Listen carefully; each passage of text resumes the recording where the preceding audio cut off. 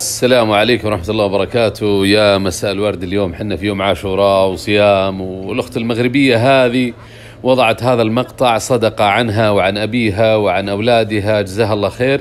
وفكرته كالتالي ناخذ اللي هو بذور السدر اللي نسميه النبق ويطحن عند الطاحون ويؤخذ منه ملعقتين على حليب ملعقتين كبيرة على حليب ويترك من الليل حتى الصباح ثم يشرب في الصباح ولا يؤكل أي أكل بعد ساعة.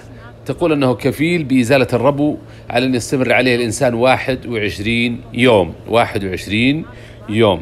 ويفيد في الباطنية وفي القولون وفي الجهاز الهضمي وذكرت أشياء كثيرة جدا أحببت أني أجيبه باللغة العربية الفصحى المتعارف عليها بيننا وشكرا لك.